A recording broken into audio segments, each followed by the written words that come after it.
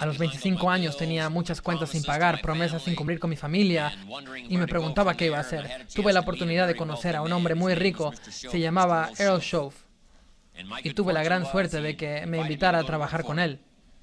Estuve cinco años trabajando para él. Y luego, desgraciadamente, murió a los 49 años.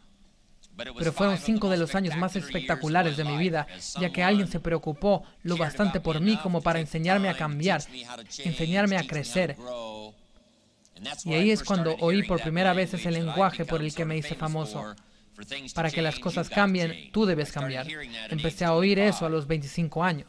Y este hombre tuvo un impacto tan increíble en mi vida. Todo en mí comenzó de una forma muy revolucionaria durante esos cinco años.